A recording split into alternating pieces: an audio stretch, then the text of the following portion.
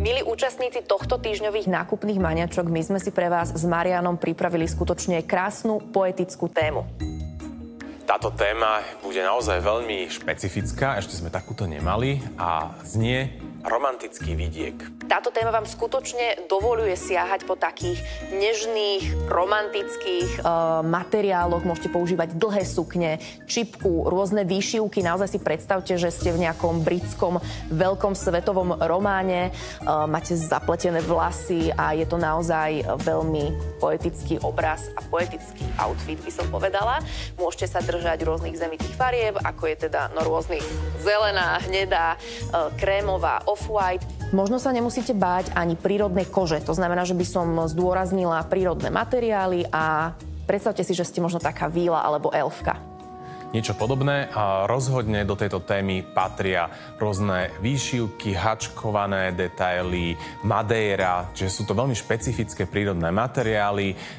Predstavte si naozaj, že na tom vidieku to asi není úplne také prehýrené farbami, skôr sa držte naozaj, ako Ema povedala, tých zemitých odtieňov.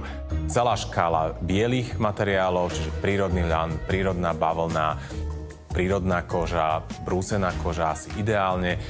Nechceme vidieť žiadne pančuchy a podobné doplnky, ktoré sú skôr typické Moderné. pre ten meský priestor, takže zostávame na vidieku, beháme po lúke, užívame si to pri potoku a veľmi sa tešíme, ako si možno spolu zatancujeme okolo ohňa v piatok vo finále. Presne tak a ja už len pre mladšie ročníky dodám takú poznámku. Téma je v podstate kotičkor. Verím, že romantický výdek to tak nejak správne preložil, ale určite by toto mohlo byť práve to správne vodítko, ako túto tému uchopiť. No, babi, čo poviete? na téma? Sadla téma, nesadla? No mne vôbec nesadla. Toto je úplne mimo, mimo všetkého, čo mám v šatníku. Veď uvidíte sami. Ja som veľmi. Takže romantika vzory nie. Absolútne nie. No veľmi som zvedavá, ako sa s týmto popasujem, pretože to bude absolútne nové pre mňa a veľká výzva. No, téma je katastrofa. Uh, absolútne to nie je môj štýl, takže som stratená v tejto téme. Bude to výzva pre mňa.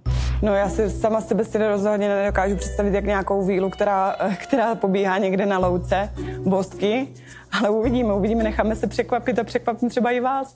Pro mě to taky bude výzva, protože já romantička určitě nejsem, ale možná nějaká malá představa by tam byla už. Uvidíme, no. Tiež sa toho veľmi obávam, lebo nemám s týmto skúsenosti, ani nič podobné nenosím, ale na tam sa nejak vynájdeme. Ty, ty ideš, ty si hovorila o tej Madeire. Áno, tak, tak ja mám veľmi rada také romantické topy, ktoré sú takto spadnuté a mám veľmi rada aj tú Madeiru, len trocha sa neviem stotožniť s tým, že to má byť vidiecké úprimne ne, neviem, čo si mám pod tým predstaviť, a, ale myslím si, že nejakú hla, predstav, predstavu v hlave mám, ale neviem, či to tu nájdem. Takže môj prvý dojem, keď som počula tému, si hovorím, fajn, toto mi sedí, toto je super, proste je to romantika, je to ženský štýl, sú tam kvietky, čipky, proste ozdoby a toto ja mám rada. Ak mám pro- povedať pravdu, samú seba si neviem predstaviť ako nejakú elfku na luke. Uvidíme, no, budem sa s tým musieť popasovať.